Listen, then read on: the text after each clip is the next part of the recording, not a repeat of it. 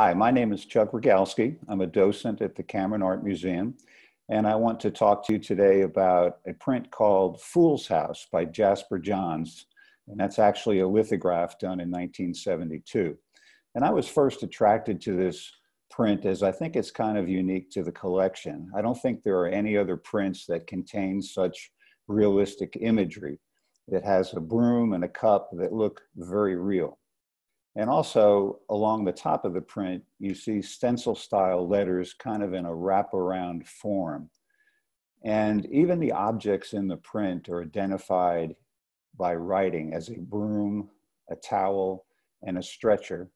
And we also see a cup that is hanging slightly outside the frame. So it's abstract, but it contains some imagery that's clearly not abstract.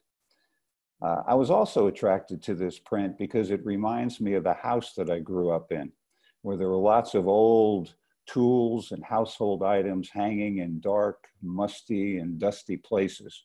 Plus, I also remember playing with stencil letters when I was a child. So if you look at the broom in this print, it's, it really already shows some movement or dust or dirt on a gray background. So you can imagine that uh, we've just, maybe someone has just been doing some sweeping up around the house.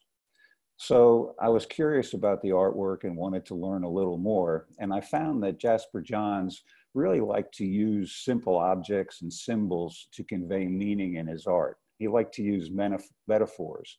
And sometimes a word or an object can appear as one thing and actually represent something entirely different.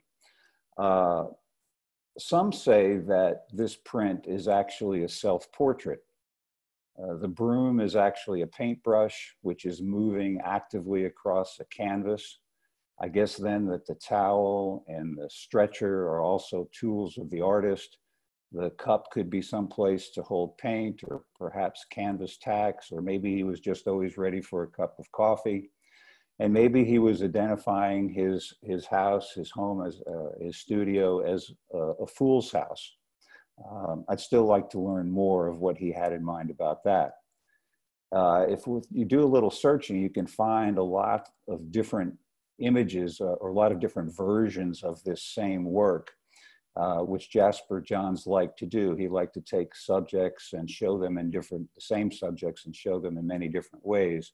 And perhaps he's most known for doing a painting of the American flag, which also has many different versions.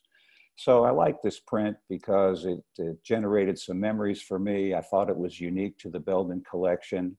Uh, and it also presented kind of an interpretive puzzle as we look at it. But you can make your own judgments. Thank you.